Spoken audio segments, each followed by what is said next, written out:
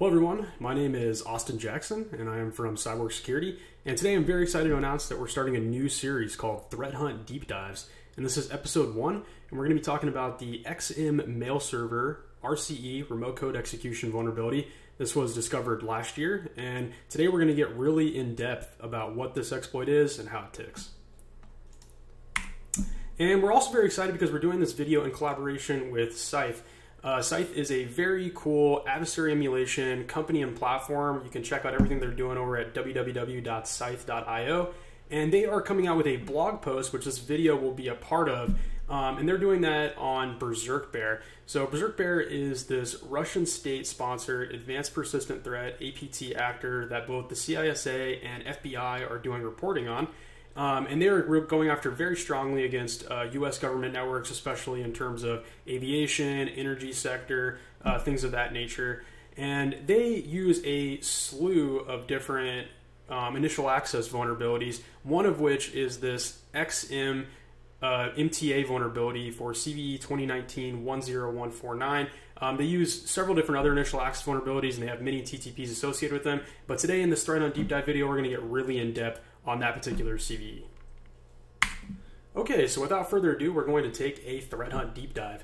We're really going to do four things in this video. First, I'm going to give you an overview and a general description of what goes into this vulnerability, how the exploit actually functions, and kind of the internals of it on a on a sort of bird's eye view level. Um, then I'm going to actually demonstrate the technique. I'm going to emulate it on systems of my own so you can actually see how the vulnerability looks when it's conducted.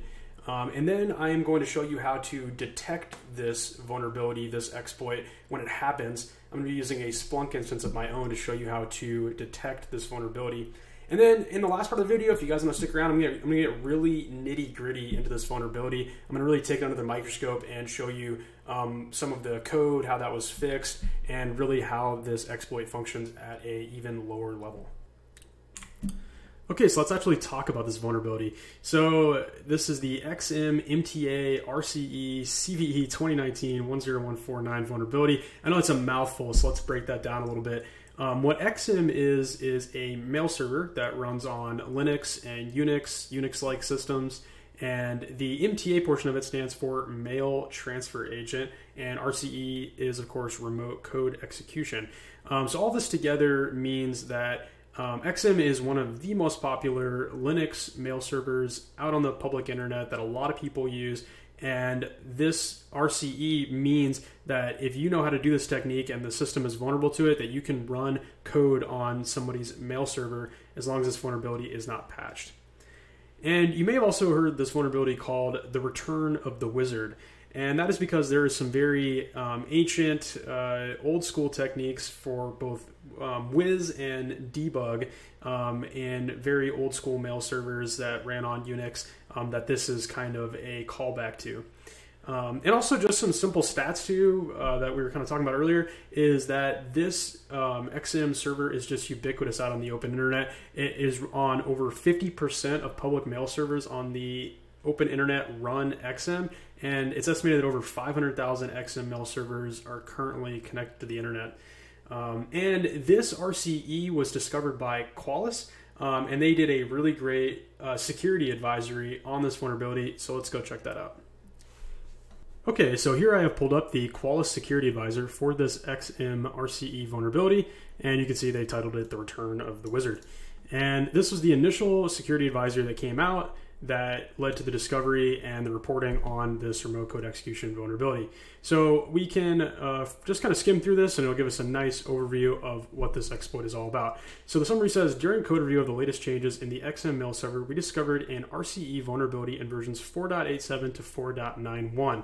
Um, it also says that in this particular case, the RCE means remote command execution, and not remote code execution. Um, and I'm probably just going to keep calling it remote code execution because that's almost always what RCE stands for. But it effectively is the same thing um, because you're able to execute commands on the system and then later could also get remote code execution on the system if desired. Um, but it says an attacker can execute arbitrary commands with exec v as root, no memory corruption, no ROP is involved. So this is pretty crazy. Um, if you're able to uh, um, exploit this vulnerability on any of these versions from 4.87 to 4.91, um, you can effectively execute any command that you would want um, on this mail server. Goes on to say this vulnerability is exploitable instantly by a local attacker. Um, and then it says to remotely exploit this vulnerability in the default configuration, an attacker must keep a connection to the vulnerable server open for seven days. Uh, by transmitting one byte every few minutes. So this is pretty hilarious. Um, you know, local exploitation of, of a XML server in this case is going to be very simple, um, but remotely executing this vulnerability would require a connection to stay open for seven days, which we'll see later on. Um, it says, however, because of the extreme complexity of XM's code, we cannot guarantee that this exploitation method is unique. Faster methods may exist. So there may um, actors may be using more advanced techniques than this uh, method that takes seven days. Um, but at least this advisory is going to be talking about this seven day, one byte every few minutes. Um, I've heard it's four minutes uh, at a time, sending one byte to exploit. Um, so first is going to talk about local exploitation, and um, this is kind of what it says here. Because expand string recognizes the run command args expansion item, and because new points to address is the recipient of the mail that is being delivered, a local attacker can simply send mail to something like this with the run localhost where localhost is one of XM's local domains. So what this is kind of saying is that if you were to specially craft an email to localhost, and this once again is a local exploitation, um, and instead of putting a person's name here in the recipient, if you kind of use this syntax and then you put a command and arguments that you wanted to run, that you're going to be able to run any command you want on the system that's kind of what this was talking about up here is that there's no memory corruption needed, no ROP. You can just execute commands um, by placing your commands in here where normally a recipient would go. Um, and here there's some commands being run on the system. This is what we're going to do momentarily on a system of our own. Um, you can actually see this exploit running and actually um, I think it explains it later on but yeah, we send more than the received headers max 30 by default, and you can see all of these received, and you see it gets to 31.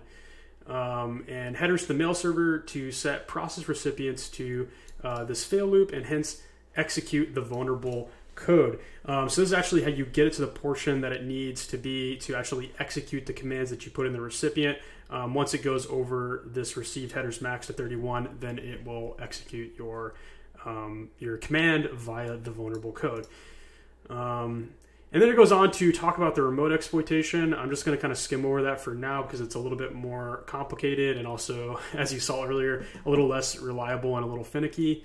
Um, and also, it, it's important to note because it's going to talk about non default configurations here that this uh, exploit works out of the box with the default configuration but a lot of people are running various different configurations with the 500,000 XM mail servers that are on the public internet. So every server might work a little bit differently, and it might be that your default configuration, uh, your non-default configuration, is vulnerable, or perhaps it's not vulnerable, depending on um, how things are set up. So talking about the different configurations, um, and then in here, uh, this is some some sort of funny thing. If anybody is interested in kind of the history of of exploits and bugs and things like this, uh, the reason why it's called the Return of the Wizard, it's a reference to SynMail. Uh, it's it, their ancient Wiz and debug vulnerabilities. Um, particularly, particularly, I would recommend that you read this SecList from 1995 on the Wiz vulnerability, and then this uh, um, PDF here from Cheswick on the debug vulnerability that dates back to the early 90s.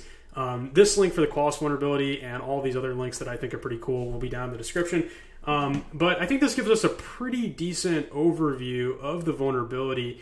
Um, and now I think that we're going to go and try to emulate it on a system of our own. We're going to get a XM server between version 4.87 and 4.91 and see about running this exploit ourselves. Let's go do it. Okay, so now let's go ahead and emulate this vulnerability. Um, so here I'm gonna I'm gonna do it locally first, and then later on we can kind of test doing it remotely. But obviously, since it takes a week to run one byte at a time, uh, we probably won't do the full thing. Uh, but for now, we'll just we'll emulate it locally. Um, so you can see I am on a just standard Debian Linux 10 uh, virtual machine that I have here running my environment, and I already have the um, XM server set up on this system, and it is running.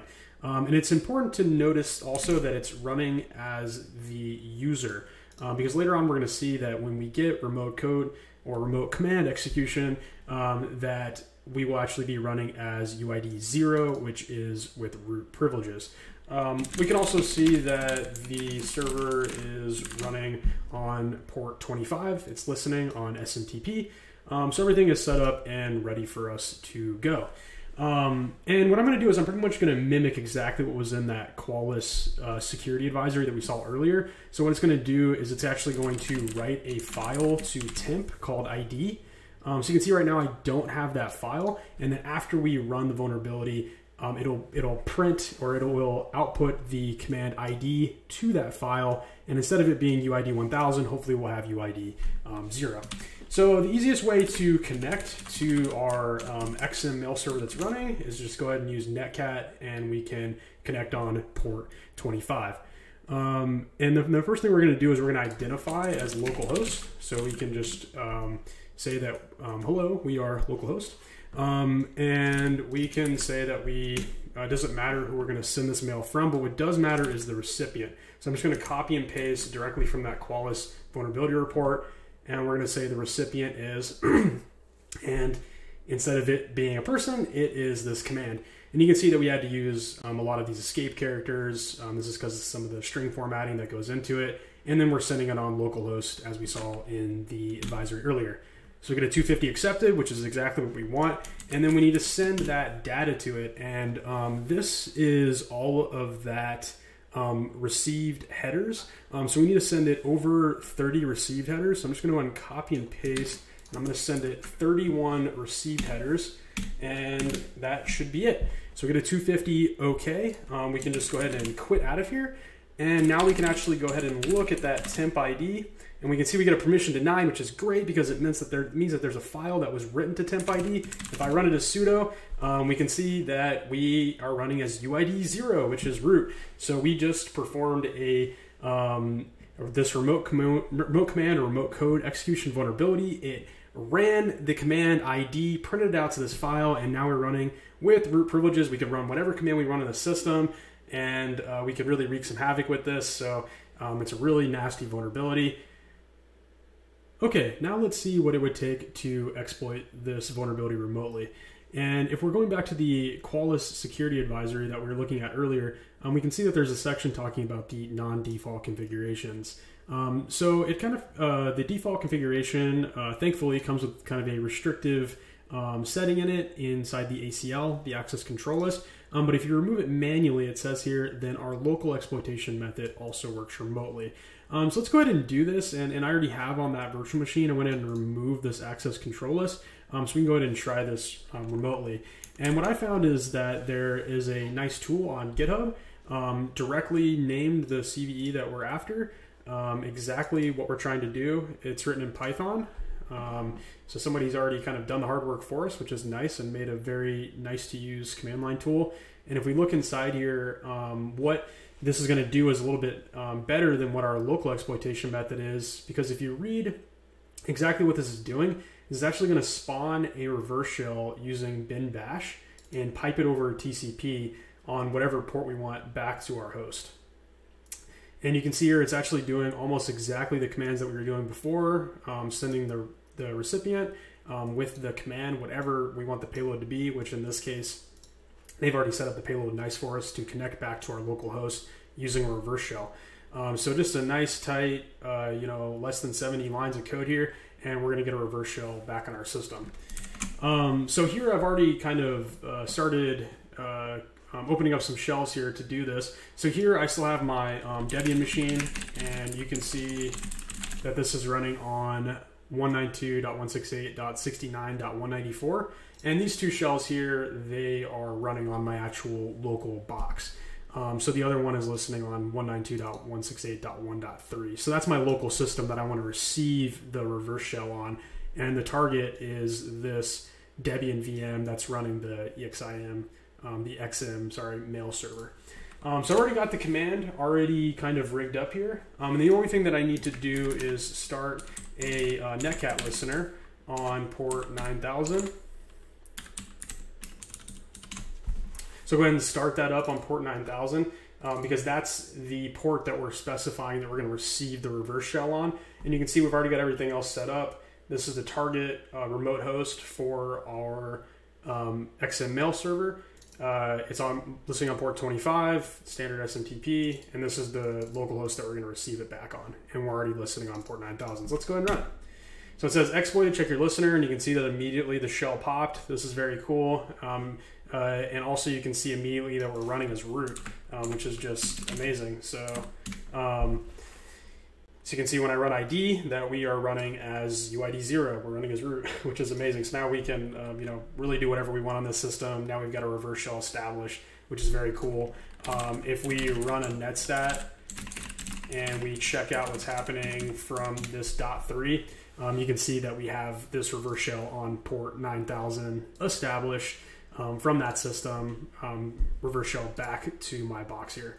Um, so this is a demonstration of how this could um, be executed remotely if someone had implemented bad access control lists or someone is uh, doesn't really know what they're doing administering XM. Okay, so now that we've done um, both a local and remote exploitation of this vulnerability, let's talk about detecting it. So here I am inside of Splunk, um, a very standard SIEM, and I have some logging going on with Bro, also known now these days as Zeek. And it's probably a little bit different in your environment, but I've got an index set up for Bro, and then I've got different uh, source types for my different Bro logs. And I have a Bro source type for Bro SMTP um, entities. And um, it might be a little bit different for you. It might be bro underscore SMTP, might be bro colon SMTP colon JSON. You just have to see. Um, but what you're looking for is logs associated with SMTP because that's going to be your simple mail transfer protocol logs. Um, and then the field that you're going to look for, and once again, might be a little different in your environment, but in this case, it is um, RCP-TTO. It's receipt or recipient two, and you can see that there's this abnormal value in here. That's what we've been seeing um, previously. Is that this is the command with all of these escape characters, and in this case, um, creating that reverse shell that we saw earlier in the um, in when we did the remote portion.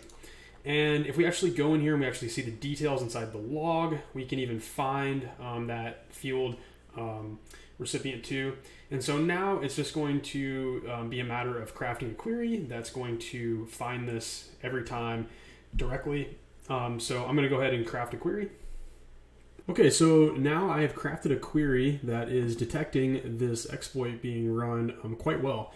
Um, so you can see I still have my index and source type, but now I am filtering on the recipient two, and you can see I've um, put some wildcards in the um, the uh, recipient two field. So it's going to look for this sort of syntax with the run, with the curly braces around it, um, and the dollar sign in front, which is kind of like the saving to a variable. Um, and an asterisk in the middle because you don't know what command that they might put in there or what arbitrary string that they uh, might put in here. Um, as you can see here, it might be some pretty long mumbo jumbo. Um, and then on the end, we're going to put another asterisk because we don't know what host they are um, going to put on the end of that. And I took the liberty too just to clean up the query as well so you can see it very nicely. You can see the host that it came from. You can see uh, the offending string and also how many uh, times that it run.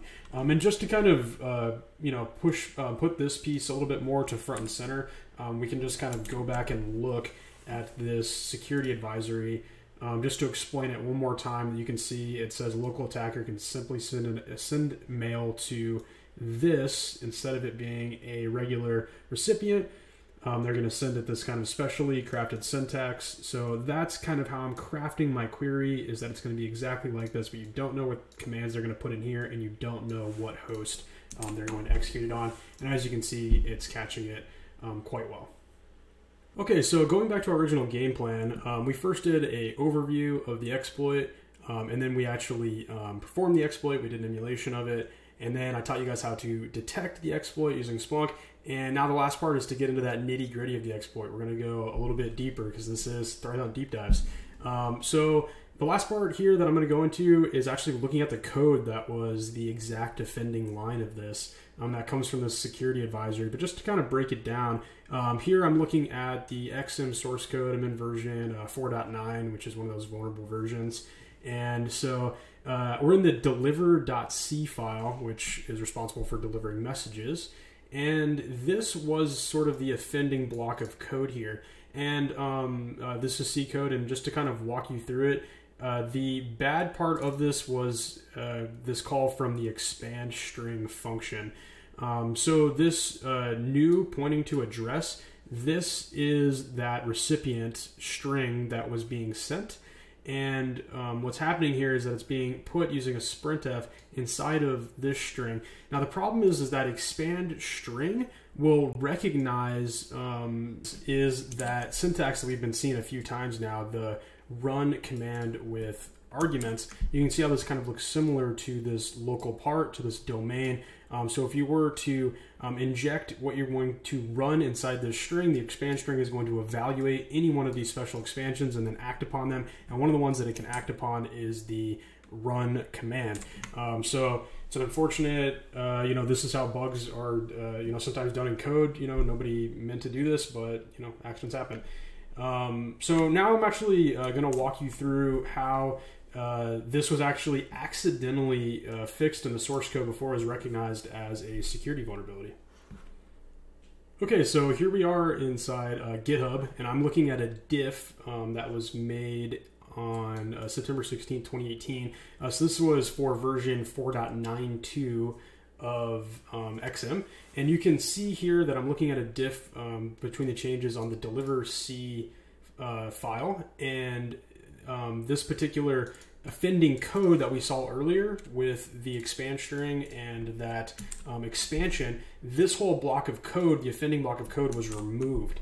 Um, and it was actually changed, so it uh, worked a little bit differently. Um, and thankfully, it uh, without knowing that this was a security vulnerability, was actually removed by the authors, and then it wasn't found to actually be a security vulnerability until uh, 2019. Uh, but people were still running a, a, lot of the older versions of the software. Um, so pretty interesting that uh, you know maybe it was recognized that it wasn't that good of code, that it needed a refactor, and it did help and remove this security vulnerability before it was uh, found by Qualys. Um, so this was this was fixed in version 4.92. So pretty interesting. All right, everybody, I just want to say thank you so much for watching our first episode of Thread Hunt Deep Dives. We're to do a whole bunch more of these, so please subscribe to our channel if you guys are interested in this sort of content. Leave a comment, do, leave us a thumbs up. We really appreciate everybody for watching, and I will see you in the next Thread Hunt Deep Dives.